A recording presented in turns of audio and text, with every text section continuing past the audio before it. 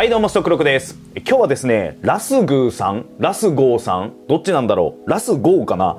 ラスゴーさんからこの LG クロスっていうねレーザーレベルを提供していただきました。ラスゴーさんありがとうございます。これねあの結構安いんですよ。Amazon で4000円ちょっとぐらいかな。で今回クーポンいいてるので、まあ、約4000円で購入できるかなと思うんですけれども4000円でレーザー墨出し機ですよ。すごく安くないですか？ということで、まあ、非常にねあのコスパが高いんじゃないかなと思いまして、まあ、使ってみないと分かんないけどね、まあ、実際にね使ってみてどうだったのかっていう話がねできればいいなと思ってますんで。ということで早速開けていきましょう。ましょう。はい。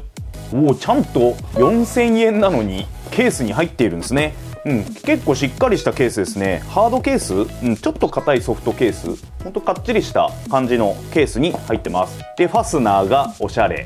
ちょっとおしゃれな可愛いファスナーがついてます。はい。早速開けますよと。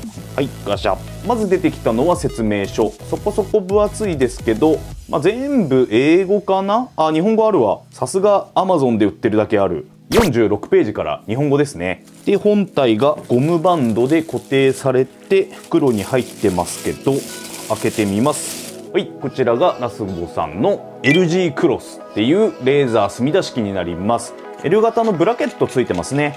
こんな感じです。あと電池。あ電池で動くんですね。ということでテスト電池が付属してます。入ってるものはこんな感じになりますではね早速電池を入れてみたいと思います電池はここですねはい。ここ開けんのかな？はい。マイナスプラスしっかり書いてるので、まあ、これに沿って入れる感じですね。はいはいはいと。はいこれで準備完了になります。試しに押してみようか。ピ結構くっきり出ますね。思ってたよりレーザーがすごいはっきり出ますね。あこれはちょっと楽しみかもしれない。え本当に4000円だよね。まあいいや。ということでまずじゃあスペックから紹介していきたいと思います。ということでこちらのラスゴーさんの LG クロスレベリング精度は 5m でプラスマイナス 1.5mm でレベリングの補正範囲が、えーと、プラスマイナス4度。で動作距離、えーと、30m 動作時間が6時間。ってことになっております。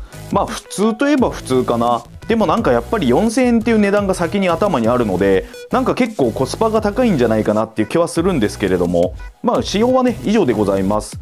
で使い方なんですけどこの上のボタンがマニュアルの電源オンのボタンになりますね。プチッと押してもらって中の振り子がねロックされた状態なので、まあ、自由にこう角度を決めれるっていうこうね斜めにしたりとか、まあ、置く場所、まあ、向きによってレーザーのラインを変えれるっていうことですね。そのモードがこのマニュアルモードになります。上のボタンですね。横のボタンは、えー、とこっち側にするとえーと、勝手にプラスマイナス4度の補正をしてくれる、まあ、常に水平のラインを出してくれるモードになります。これはねオンにしたまま動かすと中の精度狂っちゃうんで、まあ、置いた状態でね必ずオンにしてください。で置いた状態でここをポチッとすると。はい、そうすると勝手に補正されたラインが出てます。今ちょっと見づらいですけどこんな感じで今綺麗にラインが出てます。まあ、その時はこれ上緑になるんですね。レベルが取ってる時が緑になってマニュアルでオンにすると赤になるみたいですね。まあ、使い方としてはね以上になります。で付属品の紹介をするのを忘れてました。まあ、付属品としてはこのブラケットだけなんですけど、まあ、これ前のね紹介した墨出し機にもついてましたよね。マグネットになってまして、まあ、金属にくっつけられるよと、まあ、本体の下にもネジがあるのでここで固定ができると。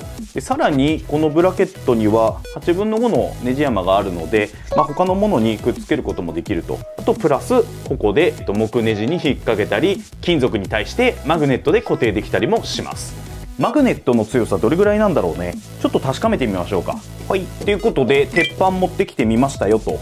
えっ、ー、と貼り付けてみますね。あ結構がっちりくっつきますね。うんこれは大丈夫だわ。うん全然問題ないです。ちゃんとがっちりつきます。これでレーザーをピッと出すと。うんいい感じですね。なのでブラケットは普通に使えますね。ただこいつ三脚ついてないので、まあ、三脚はね適当に用意した方がいいかなと思います、まあ、カメラ用の三脚でも取り付けることができるので、まあ、ちっちゃい小型の三脚があれば一番いいかな。こういうのに取り付けてもらってまあこう自由にねはい。動かすっていう感じでもいいのかなとは思います。結構こっちの方が気軽でいいかもしれないね。自由自在にこねくり回せるみたいなね。カメラ用の三脚だと足の長さもね変更できるんでねいいって伸びたりするのでね。まあ、決まった高さにあの調整しやすいっていうのがあるんで、まあ、カメラ用の三脚の方が使いやすいかもしれません。はい。今ね実際にセットしてみました。今こんな感じですね。えー、と左側のカメラ用三脚に乗っかってるのが今回紹介しているラスゴーさんの LG クロスですね。で右下に、えー、とちっちゃい三脚に乗っかってるのが以前紹介したシグマンさんのレーザー墨出し機になっております。でこれ今向こうのドアに向かって照射してるんですけれどもちょっとカメラを上げますね。ニヨンと。で今ねこんな状況になっております。ついたり消えたりしてるのがラスゴーさんの今回のレーザー墨出し機のラインになります。今消えたりついたりしてるのがシグマンのレーザー墨出し機になります。でちょっと自分バタバタ歩いてるんでちょっとガンガン線が揺れてますけどまあそこは気にしないでください。で今こうやってお互い線を出して見比べてるんですけど正直全く違いがわからねえ。もうちょっと寄ってみます？はい。どうですかね？ちょっと振動でプルプル震えたりしてますけどこれ違い皆さん分かります？今もう真横で見てるんですけど。うーん。あー。いやどうかな？これね実際レーザー出してる今距離もだいたい同じぐらいで照射してるんですよね。なんですけど線自体はシグマンの方が若干細いかなっていう感じがしますただ明るさで言うとラスゴーの方がちょっと明るい気もするんだよな。どうだろう。うんちょっと微妙な感じですね。まあ、微妙なだけにあまり変わらない。正直。もちろんねこの水平ラインもしっかり出てると思いますし今長さ測ったんでね、はい、全然ずれてないこと分かったんで。まあ正直ねプロでもない限りレーザー墨出し機って大体室内で使うと思うんですよね。あの家具の設置だったりとかあと壁になんか貼り付けたいとかね。壁に直接棚を取り付けたいとかそういう時に使うと思うんですけどこれだったらこれでもいいような気がします。全然十分です。まあ一点注意してほしいのがシグマンはフルラインだったんですよね。この縦の線と横の線とプラスこっち側にも実はぐるっとね、えー、と線が出てましてしかもこの縦の線横の線もフルラインなので周りぐるっと囲んでるんですよ。今このカメラではこのドアを映してますけどこの逆方向にも向こう側ですね皆さんの方ですこの後ろ側にも線がぐるっと囲えてるんですね。これがシグマンのいいところ。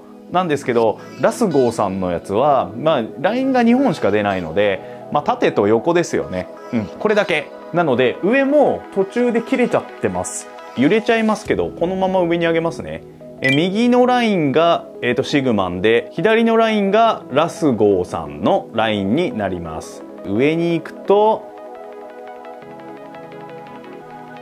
分かりますかね？もう左に線ないでしょ？シグマはもうこれ上ぐるっと、まあ、逆側まで続いてる感じになりますけどラスゴーさんのやつは途中で切れちゃってます。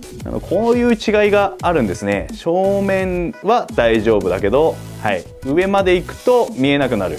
これ水平ラインも同じことが言えます。まあ、ということでね、まあ、難点は、まあ、フルラインじゃないっていうことと線ぐるって囲めないっていうこと、まあ、それぐらいかなと思いますあと強いて言うならばシグマンに比べてちょっとラインが太いかなっていうところと、まあ、明るいんだけどこの線が太い分ねちょっとぼやけて見えるかなって感じをしますね。シグマンの方が細くて綺麗なラインが出てます。ただ明るさに関してはうんどうかなまあ同じぐらいかなっていう感じですかね。横のラインはほとんど同じように見えますね。縦のラインはシグマンの方がちょっと明るいかなっていう気もします、まあ、ただ DIY でまあ個人的に家の中で使うっていうことになるとまあこっちの方でも全然十分なんじゃないかなっていう感じはします。ということでシグマンとの比較は以上になります。はい。ということで、一通り使ってみました。使ってみた感想なんですけれども、まあ、4000円っていう価格を考えたらめちゃくちゃいいです。かなりコスパ高いいい商品だと思いました。まあ一番の長所はね、今言ったコスパの部分になるんですけど、もう一個いいなと思った点がありまして、それはね、ここですね。この手前のライン。ここがね、綺麗に出るんですよ。まあ、シグマンの製品はねあのフルラインなんですけどやっぱりこのねライン出すところにちょっと枠があって、まあ、四隅にね柱みたいのが立っててちょっとそこの部分がねラインが切れちゃうっていうのがあるんですけど、まあ、こいつはね正面のこの水平ラインと垂直ラインですね。この2本の線しか出さないのでまあ遮るものが何もないんですよね。まあその点はね、まあ、結構近くのラインを見たいって時はいい点なのかなっていうふうに思いました。まあ一番はねコスパだけどね。まあ、この正面しか見れないっていうことだけね許容できればすごくいい商品だなと思いますで、まあ、残念な点なんですけれどもちょっと価格を考えたら残念って言っていいのかちょっと微妙なんですけど、まあ、シグマンのラインに比べるとやっぱりちょっと太いかなっていう気はしましたね太くて若干ぼやけてるなので、より高い精度を求めるのであれば、まあ、シグマンの方が適してるのかなっていう気はしました。まあ、あっちはフルラインですしね。まあ、ただ、こいつ多分3つぐらい、まあ、2個ぐらいか、2.5個ぐらい買えちゃう価格差なので、結局のところ用途によるのかなっていうふうに思います。普通の DIY レベルであればこの正面2本出てればまあそんなに困らないんじゃないかなっていう気はしますねぐるっと一周囲むようなラインがどうしても欲しいっていうことであればこいつはちょっと選ぶべきではないんですけどまあそうではなくて何か設置する時に正面だけ水平ラインと垂直ライン綺麗に出てくれればいいっていう使い方であればこれはもううってつけですね。まあそういう方にとってはかなりコスパのいいいい商品なんじゃないかなっていうふうに感じました。で今回ですねえ、ー、と10%オフの割引クーポン頂いておりますのでこちら概要欄に貼っておきます、まあ、この商品自体ね、まあ、Amazon の販売ページに500円オフってクーポンがあるんですけど、まあ、それプラス10%オフ併用できると思いますんで、まあ、さらにね安く購入できるかなと思います。ということで今回はこちらのラスゴーさんの LG クロスこちらを紹介していきました。今日はこんな感じで終わりたいと思います。この動画を見てちょっとでも面白かった参考になった方はチャンネル登録と高評価よろしくお願いいたします。ではまた次回の動画でお会いいたしましょう。またね。